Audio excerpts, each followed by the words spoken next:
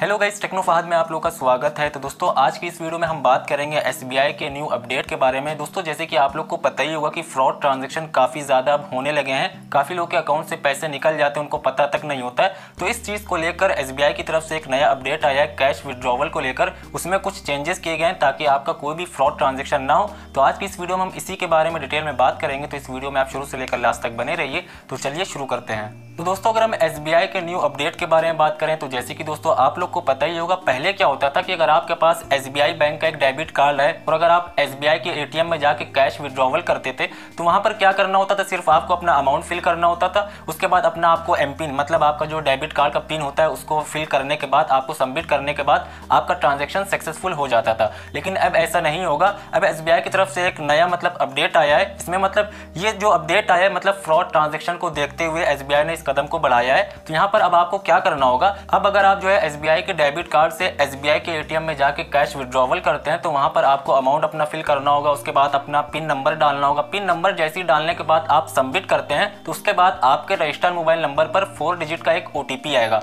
उसको फिल करने के बाद ही आपका ट्रांजेक्शन सक्सेसफुल होगा। तो ये मतलब आपकी सिक्योरिटी पर्पज के हिसाब से काफ़ी अच्छा ये मतलब फीचर मुझे लगा। और ये मतलब जितने भी बैंक है, इन सभी बैंकों में भी आपको बहुत जल्द देखने को मिलेगा, क्योंकि ये फ्रॉड ट्रांजेक्शन और स्कैम से बचने के लिए काफ़ी अच्छा फीचर्स है और आपकी सिक्योरिटी मतलब आपका बैंक अकाउंट सिक्योर रहे, इसके लिए भी काफ़ी अच्छा ये फीचर्स है। तो मतलब अब आपको एसबीआई के डेबिट कार्ड पे ये फीचर्स देखने को मिलेगा। अगर आप एसबीआई के डेबिट कार्ड से एसबीआई के एटीएम में जाके कैश विड्रॉवल करते हैं तो वहाँ पर आपको अमाउंट डालने के बाद, अपना पिन नंबर डालने के बाद, उसके बाद आपको अपना एक ओ भी डालना पड़ेगा। जैसे आप सबमिट पे क्लिक करते हैं, जैसे कि पिन नंबर डालने के बाद जैसे आप सबमिट पे क्लिक करते हैं या इंटर करते हैं तो उसके बाद ऑटोमेटिकली आपके रजिस्टर्ड मोबाइल नंबर पर आ जाएगा, जिसकी वैलिडिटी 10 मिनट की होगी। तो वो ओटीपी जब तक आप फिल नहीं करेंगे तो आपका ट्रांजेक्शन जब तक का जो है सक्सेसफुल होगा। तो ये सर्विस काफ़ी मुझे अच्छी लगी और जितने भी बैंक हैं, इन बैंकों में भी आपको बहुत जल्द देखने को मिलेगा, क्योंकि ये फ्रॉड ट्रांजेक्शन और स्कैम से बचने के लिए काफ़ी अच्छा ये फीचर्स है। तो ये सभी बैंकों में और सभी बैंकों के एटीएम में सर्विस आनी चाहिए। उसके अलावा दोस्तों, आप लोग कमेंट बॉक्स में मुझे ज़रूर बताइएगा कि आप लोगों में से कितने लोगों के साथ ऐसा हुआ है कि वो एसबीआई का डेबिट कार्ड लेके एसबीआई के एटीएम में गए और उन्होंने अगर कैश विड्रॉवल किया तो वहाँ पर उनसे